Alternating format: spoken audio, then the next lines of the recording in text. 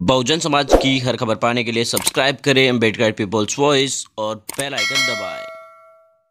Bahujan Samaj party की राष्ट्रीय अध्यक्ष बहन कुमारी मायावती ने आज प्रधानमंत्री नरेंद्र मोदी पर भी करारा वार किया। दरअसल उन्होंने कल एक अपनी नई जाति बताई थी, उसी को लेकर बसपा सुप्रीमो मायावती लगातार प्रधानमंत्री नरेंद्र मोदी को घेरती रहती है, लेकिन इससे पहले भी उन्होंने एक ट्वीट किया है और उन्होंने आज सभी देशवासियों से अपील की है कि लोग छठे चरण के लिए मतदान करें।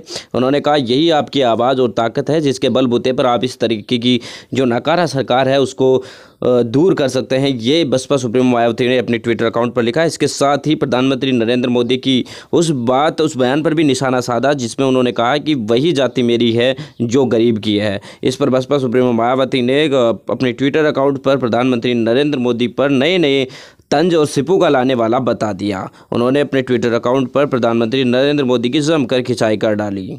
उन्होंने लिखा है कि प्रधानमंत्री श्री मोदी ने अब तक लोगों को बरगलाने के लिए कल से एक नया चुनावी सिगु को छोड़ा है। कि उनकी जाति वही है जो गरीब की जाति है। तो देख सकते हैं आप कि किस प्रकार बसपा सुप्रीमो मायावती प्रधानमंत्री की जाति बताने से नाराज़ नज़र आ रही है। इसके आगे भी उन्होंने लिखा है कि चुनावी स्वार्थ हेतु प्रधानमंत्री मोदी न जाने क्या क्या छल करेंगे, लेकिन पाँच साल तक करीबों, साल तक करोड़ों गरीबों, मजदूरों, किसानों आदि की दुरुस्तता के लिए जनता उन्हें कभी भी माफ़ नहीं करेगी। तो ये बसपा सुप्रीमो मायावती का प्रधानमंत्री नरेंद्र मोदी पर सीधा हमला करा। आज अपने ट्विटर अकाउंट पर ये लिखा है